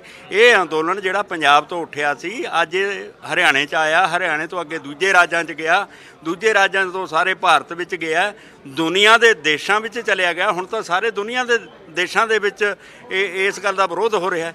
ਹਰ ਕੌਂਸੂਲੇਟ ਦੇ ਸਾਹਮਣੇ ਹਰ ਸ਼ਹਿਰ ਦੇ ਵਿੱਚ ਉੱਥੇ ਵੱਡੀਆਂ ਰੈਲੀਆਂ ਕਰਕੇ ਉਹ ਰੋਜ਼ਾਨਾ ਰੋਸ ਪ੍ਰਦਰਸ਼ਨ ਕਰਦੇ ਛੋਟੇ ਛੋਟੇ ਬੱਚੇ ਨੇ ਜਿਹੜੇ, ਉਹ ਆਪਣਾ ਤਖਤੀਆਂ ਲੈ ਕੇ ਆਪਣੇ ਘਰਾਂ ਦੇ ਮੂਹਰੇ ਖੜ ਕੇ ਰੋਸ ਕਰ ਰਹੇ ਨੇ। ਕਿਸਾਨ ਉਹਦੇ ਅੰਦੋਲਨ ਦੀ ਹਮਾਇਤ ਕਰ ਰਹੇ ਨੇ। ਔਰ ਇੱਥੇ ਤੱਕ ਵੀ ਹੈ ਵੀ ਟਰੈਕਟਰ ਤੋਂ ਟਵੀ- ਟਵਿੱਟਰ ਵਾਲੀ ਗੱਲ। ਉਹ ਵੀ ਹੁਣ ਉੱਥੋਂ ਦੇ ਉੱਥੋਂ ਦੇ ਕੀ ਇੱਥੋਂ ਦੇ ਵੀ। ਸਾਰੇ ਲੋਕਾਂ ਨੇ ਇਹ ਗੱਲ ਸਮਝ ਲਈ ਹੈ ਵੀ ਹੁਣ ਸਾਨੂੰ ਟਰੈਕਟਰ ਤੋਂ ਟਵਿੱਟਰ ਵੱਲ ਵੀ ਆਉਣਾ ਪਏਗਾ। ਸਾਨੂੰ ਇਹ ਜਿਹੜਾ ਸੋਸ਼ਲ ਮੀਡੀਆ ਹੈ, ਇਹਦੇ ਵਿੱਚ ਵੀ ਸਾਨੂੰ ਆਪਣਾ ਕਦਮ ਪੁੱਟਣਾ ਪਏਗਾ।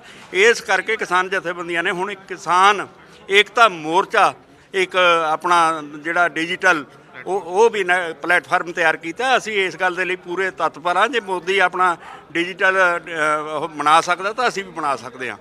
ਇਹ ਕੋਈ ਅਨਪੜ੍ਹ ਨਹੀਂ ਹਨ ਕਿਸਾਨ।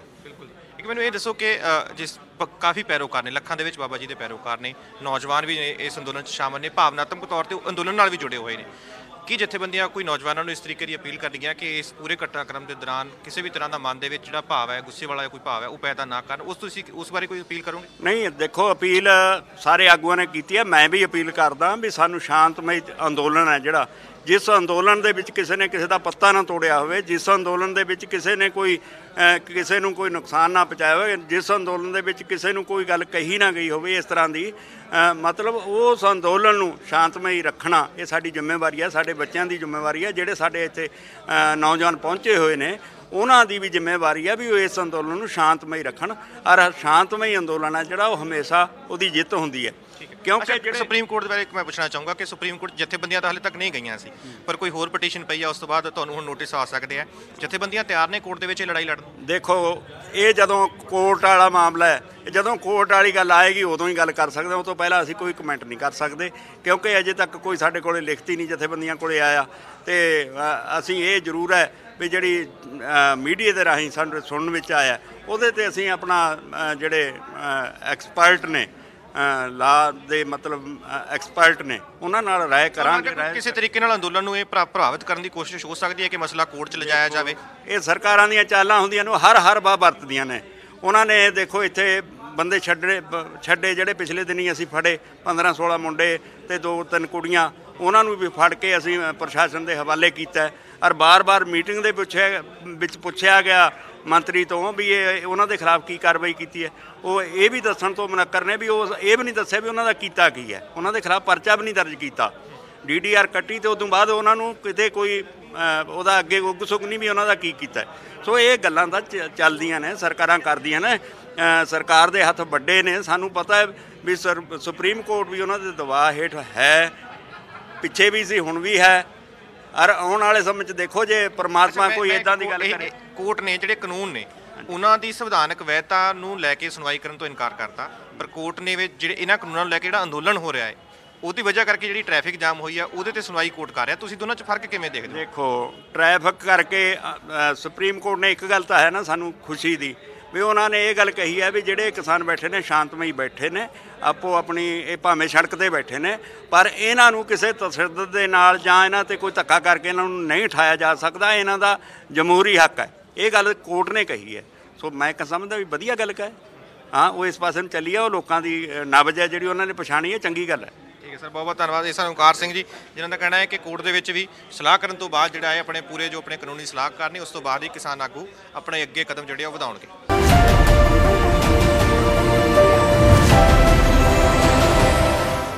ਸੋ ਕਿਸਾਨ ਮੀਟਿੰਗਾਂ ਦੇ ਵਿੱਚ ਸ਼ਾਮਲ ਰਹੇ ਅਭਿਮਨਿਊ ਅ, ਕੁਹਾੜ ਸਾਡੇ ਨਾਲ ਮੌਜੂਦ ਨੇ ਉਹਨਾਂ ਨਾਲ ਗੱਲਬਾਤ ਕਰਦੇ ਹਾਂ अभिमन्यु जी अभी अ, एक तो घटनाक्रम यहाँ पे बापरा के बाबा राम सिंह जी की दुखद मृत्यु हुई है उसको आप कैसे देखते हैं देखिए बाबा राम सिंह जी शुरुआत से ही इस आंदोलन में पूरा सहयोग कर रहे थे। अ, कुछ दिन पहले जब वो आए उन्होंने कंबल लेके आए थे किसानों के लिए। फिर उन्होंने पाँच लाख रुपए की आर्थिक सहायता भी दी थी और आठ तारीख को एक समागम भी कराया था वहाँ पे जिसमें किसानों के लिए एक स्पेशल अरदास भी अ, की गई थी। तो शुरुआत से ही उनका आशीर्वाद और मार्गदर्शन इस आंदोलन को रहा। और कल ये बड़ी दुखद घटना जो घटित हुई है और जो उन्होंने अपने नोट में लिखा भी है आत्मदाह करने से पहले कि किस तरीके से सरकार का जो रवैया है, वो देश के अन्नदाता के प्रति ठीक नहीं है। तो उन्होंने दो संदेश दिए हैं। पहला संदेश तो सरकार को दिया है कि अब सरकार अपनी कुंभकर्णी रूपी नींद से जग जाए। जो सरकार ये सत्ता के नशे में जो चूर चूर हो रखी है, अब इस नशे से बाहर निकले, क्योंकि जो ये आंदोलन है, अब ये देशव्यापी बन चुका है। और देश के अन्नदाता की बातें अभी भी नहीं सुनी जा रही हैं। कभी भाजपा के प्रवक्ता देश के अन्नदाता को आतंकवादी बताते हैं, कभी उन पर झूठा आरोप लगाते हैं कि इनको फंडिंग मिल रही है इनको, कभी कहते हैं यहाँ पे माओवादी, नक्सलवादी आ गए और जबकि हम बार बार ये बात कह रहे हैं कि अगर कोई गलत एलिमेंट यहाँ पे घुसा है तो सरकार के पास एजेंसियाँ हैं, सरकार के पास डिपार्टमेंट है, सरकार उनको पकड़े ना। केंद्र सरकार के डिपार्टमेंट क्या कर रहे हैं? क्या वो सो रहे हैं वो? इससे तो सरकार पे ही सवाल खड़ा होता है। इस घटना से किसी तरह की कोई निराशा तो नहीं लोगों में जाएगी कि ऐसा क्यों हुआ? जो संत महात्मा होते हैं जो उनकी कुर्बानी होती है जो उनकी शहादत होती है वो समाज को नया रास्ता दिखाने का काम करते हैं। तो इसमें निराशा का तो कोई सवाल ही पैदा नहीं होता। जो उनकी शहादत हुई है वो हमें और भी प्रेरणा देगी कि जो हमारे लक्ष्य हैं जो हमारी मांगे हैं उनको हम शत प्रतिशत पूरा कराएं तो वो तो हमारे लिए प्रेरणा का काम करेंगे संत महात्माओं की कुर्बानी ਅੱਛਾ ਇੱਕ ਸੁਪਰੀਮ ਕੋਰਟ ਵਾਲਾ ਜੋ ਮਸਲਾ ਚੱਲ ਰਿਹਾ ਉਹਦੇ ਬਾਰੇ ਕੀ ਕਹੋਗੇ ਕਿ ਸੁਪਰੀਮ ਕੋਰਟ 'ਚ ਜੋ ਇਹ ਚੀਜ਼ਾਂ ਜਾ ਰਹੀਆਂ ਨੇ ਜਥੇਬੰਦੀਆਂ ਡਾਇਰੈਕਟਲੀ ਕੋਰਟ ਦੇ ਵਿੱਚ ਤਾਂ ਨਹੀਂ ਗਈਆਂ ਪਰ ਕਿਸੇ ਨਾ ਕਿਸੇ ਤਰੀਕੇ ਉਹਨਾਂ ਨੂੰ ਉੱਥੇ ਲਿਆਉਣ ਦੀ ਕੋਸ਼ਿਸ਼ ਕੀਤੀ ਜਾ ਰਹੀ ਹੈ ਉਹਦੇ ਨਾਲ ਕੋਈ ਤੁਹਾਨੂੰ ਲੱਗਦਾ ਕਿ ਅੰਦੋਲਨ ਨੂੰ ਕੋਈ ਪ੍ਰਭਾਵਿਤ ਕਰਨ ਦੀ ਕੋਸ਼ਿਸ਼ ਹੋਏਗੀ ਜੇਕਰ ਇਸ ਤਰੀਕੇ ਕੋਰਟ 'ਚ ਜਾਂਦੇ ਨੇ देखिए, अभी हमारे पास कोर्ट की तरफ़ से कोई ऑफिशियल कुछ कम्युनिकेशन हमारे साथ नहीं हुआ है। तो जब तक ऑफिशियल कम्युनिकेशन नहीं होता, तब तक कोई टिप्पणी करना ठीक नहीं है। लेकिन मैं दो तीन बातें स्पष्ट कर देना चाहता हूँ कि हम माननीय कोर्ट का पूरा सम्मान करते हैं, लेकिन ये पूरा देश जानता है। आप पहले दिन से ये दिखा रहे हैं कि जब हमने दिल्ली कूच का ऐलान किया था तो सबसे पहले तो हमें परमिशन नहीं दी गई थी, उस समय रामलीला मैदान की परमिशन नहीं दी गई। उसके बाद जब हम आ रहे थे दिल्ली की तरफ़ तो सड़कें खोद दी गई। पानी की बौछारें की गई, किसानों पर लाठीचार्ज किए गए और फिर यहाँ पे आके पुलिस ने बैरिकेड लगा दिए। तो हमें तो पुलिस ने रोका है। तो ये सवाल तो पुलिस से पूछा जाना चाहिए ना कि ये रोड बंद क्यों है? ये हमसे पूछने की बजाय उनसे पूछे, ये प्रशासन से पूछे, मोदी सरकार से ये सवाल पूछे कोर्ट। और जहाँ तक हमें उम्मीद है कि कुछ भी ऑब्जर्वेशन देने से पहले, कुछ भी स्टेटमेंट देने से पहले कोर्ट कम से कम हमारा पक्ष भी सुने, हमारी जो व्यथा है, जो हमारी परेशानी है, उसको भी सुने। ऐसी हम उम्मीद रखते हैं। और हमने, हमारी एक सीनियर लीडर्स की टीम है कल वो चार लॉयर से कंसल्ट करेंगे। ये मैं क्लियर कर देना चाहता हूँ कि वो चार लॉयर्स अपॉइंटेड नहीं है। जस्ट उनके साथ कंसल्टेशन होगी, जिसमें कॉलिन्स गोंजालवेस हैं दुष्यंत दवे हैं एच एस फुल्का हैं और प्रशांत भूषण हैं। तो उनसे बात होगी कंसल्टेशन होगी देन उसके बाद हम कड़े कड़े पहलुआ तो गल करोगे देखिए उसमें जब अभी तो देखिए जो हमें जानकारी मिली है सुप्रीम कोर्ट की तरफ से कुछ आ, उन्होंने स्टेटमेंट दी है तो वो हमें मीडिया के माध्यम से मिली है हमारे साथ कुछ भी ऑफिशियल कम्युनिकेशन नहीं हुआ है तो पहले एक बार ऑफिशियल कम्युनिकेशन हो जाए उसके बाद उनसे चर्चा भी होंगी सारी चीज़ें होंगी बातचीत होंगी अलग अलग पहलुओं पे कि हमारी आगे की रणनीति क्या हो तो ये सब कल मीटिंग में डिस्कस किया जाएगा उनके साथ ਇਸ- ਇਸ ਗੱਲ ਦੀ ਕਿੰਨੀ ਕੁ ਸੰਭਾਵਨਾ ਹੈ ਕਿ ਜਥੇਬੰਦੀਆਂ ਆਪਣਾ ਜਿਹੜਾ ਅੰਦੋਲਨ ਹੈ ਜਿਵੇਂ ਸਿੰਘੂ ਬਾਰਡਰ ਤੇ ਹੈ ਟਿਕਰੀ ਤੇ ਹੈ ਉਸ ਨੂੰ ਜੇ ਕੱਲ ਨੂੰ ਦਿੱਲੀ ਵਿੱਚ ਸ਼ਿਫਟ ਕਰਨ ਦੇ ਲਈ ਕੋਰਟ ਕਹਿੰਦੀ ਹੈ ਇਸ ਤਰੀਕੇ ਕਿੰਨੀ ਕੁ ਸੰਭਾਵਨਾ ਹੈ ਕਿ ਤੁਸੀਂ ਉੱਥੇ ਸ਼ਿਫਟ ਹੋ ਜਾਓਗੇ ਜਾਂ ਇੱਥੇ ਬਾਰਡਰ ਤੇ ਹੀ ਡਟੇ ਰਹੋਗੇ देखिए इस पे हमारा जो आ, आंदोलन के जो सीनियर लीडर्स हैं वो डिसाइड करेंगे ये तो भविष्य का एक सवाल हो गया लेकिन आज की परिस्थिति की बात करें तो हम यहाँ पे डटे हुए हैं तो हम डटे हुए हैं हम यहाँ से हम नहीं हिलेंगे अभी। ये बात बिल्कुल क्लियर है। ਅੱਛਾ ਇੱਕ ਸਰਕਾਰ ਦੇ ਮੰਤਰੀ ਕੇਂਦੀਬਾੜੀ ਮੰਤਰੀ ਵੀ ਇਹ ਕਹਿ ਰਹੇ ਨੇ ਉਹਨਾਂ ਨੇ ਜੋ ਇੰਟਰਵਿਊ ਦਿੱਤਾ ਉਹਦੇ ਵਿੱਚ ਉਹਨਾਂ ਨੇ ਕਿਹਾ ਕਿ ਕਿਸਾਨ ਜਥੇਬੰਦੀਆਂ ਨਾਲ ਅਸੀਂ ਕਲੌਜ਼ ਟੂ ਕਲੌਜ਼ ਗੱਲ ਕਰਨ ਲਈ ਤਿਆਰ ਆ ਤਿੰਨੋਂ ਕਾਨੂੰਨਾਂ ਦੇ ਉੱਤੇ ਉਹ ਸਾਡੇ ਨਾਲ ਆ ਜਾਣ ਅਸੀਂ ਕਲੌਜ਼ ਟੂ ਕਲੌਜ਼ ਗੱਲ ਕਰਨੀ ਇਸ ਤੋਂ ਪਹਿਲਾਂ ਜਿਹੜੀਆਂ ਮੀਟਿੰਗਾਂ ਹੋਈਆਂ ਉਹਨਾਂ ਦੇ ਵਿੱਚ ਕੀ ਤੁਸੀਂ ਕੁਝ ਲਿਖਤੀ ਤੌਰ ਤੇ ਮੋٹے-ਮੋٹے ਤੌਰ ਤੇ ਕੁਝ ਗੱਲਾਂ ਦੱਸੀਆਂ ਸੀ ਜਾਂ ਕਲੌਜ਼ ਟੂ ਕਲੌਜ਼ ਗੱਲ ਪਹਿਲਾਂ ਵੀ ਹੋ ਚੁੱਕੀ ਹੈ जो 3 दिसंबर की मीटिंग हुई थी उस मीटिंग में खुद मैं मौजूद था। हमारे सीनियर लीडर्स ने क्लॉज वाइज टिप्पणी की थी। उन तीनों कानूनों के ऊपर। यदि समय हो तो मैं आपको दो मिनट में बता भी देता हूँ, मैं वो आपको। पहला कानून था ट्रेड वाला, उसमें हमने ये बताया कि भाई जब जब प्रोक्योरमेंट सिस्टम में सरकार का रोल कम होगा और कॉरपोरेट का रोल बढ़ेगा तो किसानों का एक्सप्लॉयटेशन भी बढ़ेगा। और जब सरकार का प्रोक्योरमेंट में रोल बढ़ेगा तो किसानों का एक्सप्लॉयटेशन कम होगा। हमने बहुत सारे एग्ज़ाम्पल दिए। हमने बिहार का एग्ज़ाम्पल दिया। 2006 में बिहार में एक कानून लागू हुए। सरकारी मंडियाँ समाप्त हो गई। सरकारी प्रोक्योरमेंट सिस्टम समाप्त हो गया। तो आज हाल वहाँ पे क्या है? वहाँ के किसान खेती छोड़ के दूसरे राज्यों में जाके मजदूरी करने के लिए मजबूर हो रहे हैं। फिर हमने तमिलनाडु का भी एग्ज़ाम्पल दिया, उझावर संतई मार्केट का, जहाँ पे प्रोक्योरमेंट सिस्टम में गवर्नमेंट ने अपना रोल बढ़ाया तो किसानों को बेनिफिट हुआ।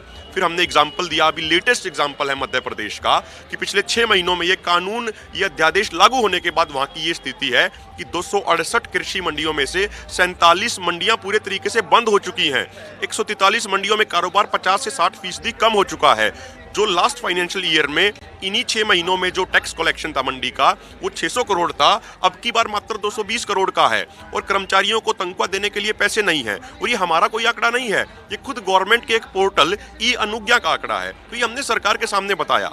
हमने बताया कि जो आप ट्रेड एंड कॉमर्स वाले एक्ट में जो आपका पांचवा पॉइंट है सेक्शन में, उसमें आप ई मार्केटिंग की बात करते हैं। लेकिन जो पास्ट एक्सपीरियंस है, उसके तहत तो ई मार्केटिंग से बिचौलिए बढ़ते हैं। वो कम नहीं होते हैं। क्योंकि गवर्नमेंट के पास ऐसा कोई मैकेनिज्म नहीं है जिससे वो फ़िज़िकल डिलीवरी सुनिश्चित कर पाए। मान लीजिए ऑनलाइन क्या होगा? कोई किसान से सामान खरीदेगा, वो उसकी फ़िज़िकल डिलीवरी नहीं लेगा, वो आगे किसी को बेच देगा अपना प्रॉफिट लेके फिर दूसरा किसी तीसरे को आगे बेच देगा। तो उनके बीच में फ़िज़िकल डिलीवरी प्रोडक्ट की हुई है या नहीं हुई है, ये गवर्नमेंट कैसे सुनिश्चित करेगी? गवर्नमेंट के पास कोई जवाब नहीं। हमने एग्ज़ाम्पल दिया असम के चाय के किसानों का। ई मार्केटिंग से चाय के किसानों को नुकसान हुआ और दूसरी तरफ़ कंज्यूमर्स को भी नुकसान हुआ। हमने एग्ज़ाम्पल दिया केरल के रबड़ के किसानों का कि कैसे उन्होंने ई मार्केटिंग की खिलाफत की।